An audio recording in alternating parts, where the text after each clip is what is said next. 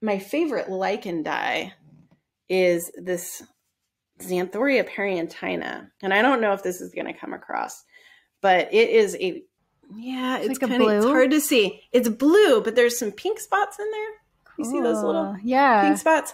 So this um, lichen is bright yellowish green. It's like chartreuse, and you soak it in ammonia or urine, stale urine, for um, for a while until it transforms into a pink dye, and that pink dye makes a beautiful, like just brilliant kind of bubblegum pink.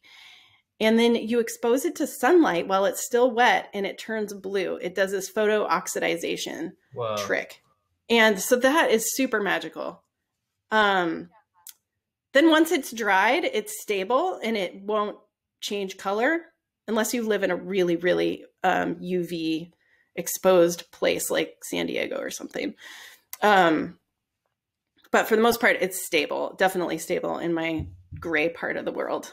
That is so awesome. Do you know of any other lichen or mushrooms that color change with UV? Um, not dramatically and beautifully like that. There are some dyes that like will fade in UV. There's a lot of dyes that fade with repeated UV exposure.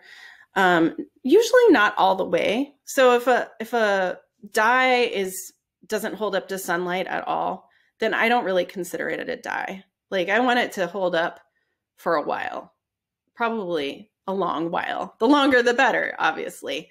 But um, if you hang your t-shirts on a line, you'll notice that even commercial dyes, even the strongest commercial dyes will fade over time with sunlight exposure. So sunlight really is the thing that takes the color away eventually. But that said, there are lots of dyes that hold up really well and long term to that exposure.